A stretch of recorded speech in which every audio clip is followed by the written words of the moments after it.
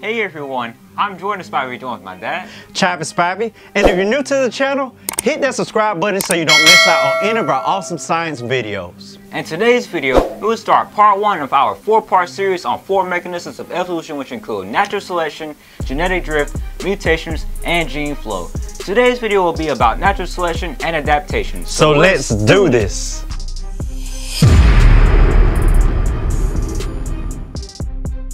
Our learning target for today is, I can explain how natural selection and adaptation leads to the evolution of populations over time.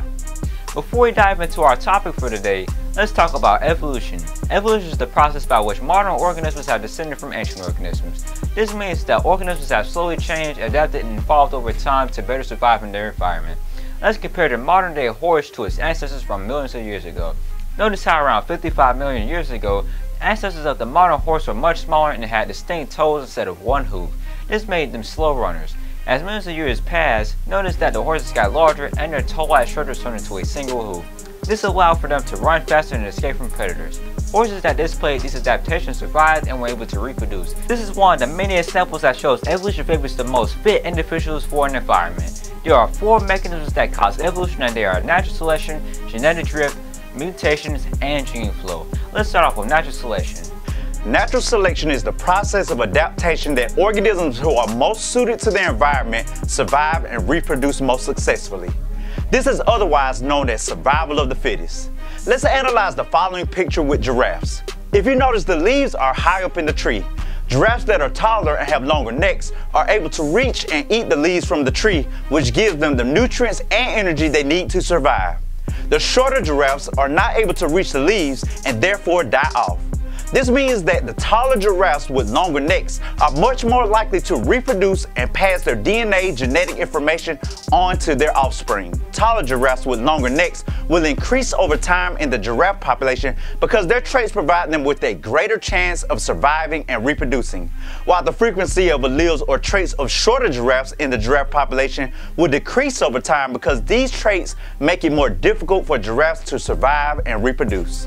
Overall, longer necks are inherited characteristics that increase giraffes' chances of survival and reproduction in their environment. Natural selection works because positive traits survive more, allowing those traits to become more common in a population. Let's look at an example of natural selection in bee populations. Look at the top picture in the following example. What bee population is smaller, the green or brown beetles? You're right, the green beetle population is larger. Now let's look at a couple of generations later in the bottom picture. What do you notice? Correct. I'm glad we're on the same page. The green beetle population was larger and the small beetle population was smaller a few generations back in the top picture.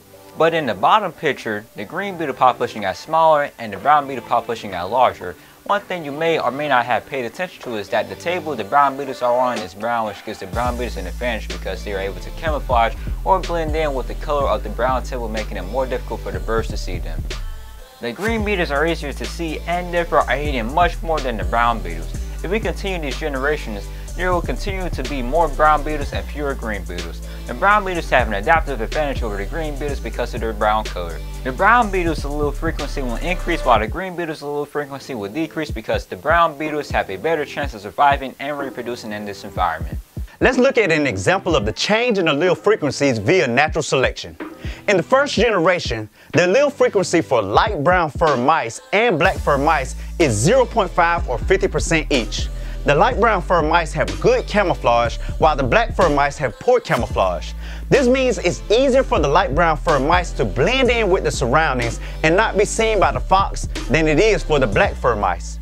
The black fur mice are targeted by the fox predator since it is easier for the fox to see them. Now look at the second generation of mice.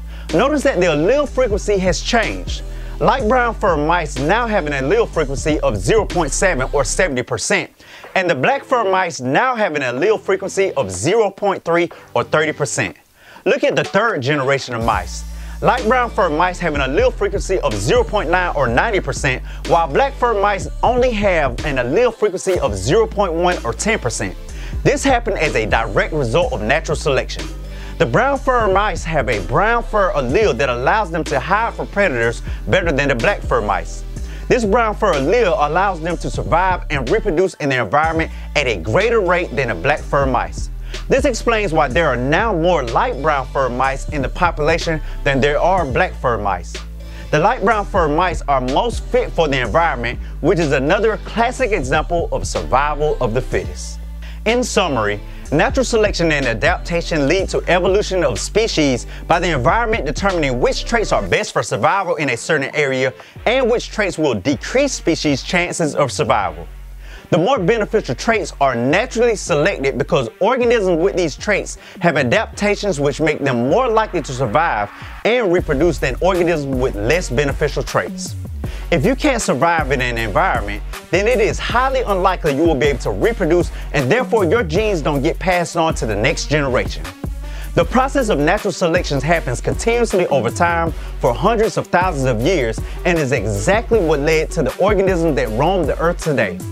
Natural selection is a mechanism or tool that leads to greater evolution. And that's our video for today.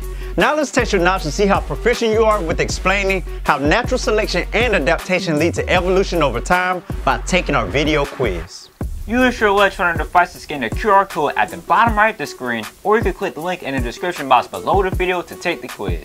Remember, 80% or higher for proficiency, record your results on your proficiency sheet, and if you don't get it the first time, you better keep going because it's not over until you win. Don't forget to hit that subscribe button, and also click the bell icon so you don't miss out on any of our awesome videos. Peace, and have a positive, productive day. Hey, does he look like he can fight? Come on, bro. Eh.